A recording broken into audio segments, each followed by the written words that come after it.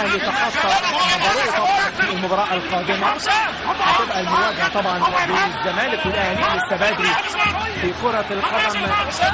طبعا صعب التنفس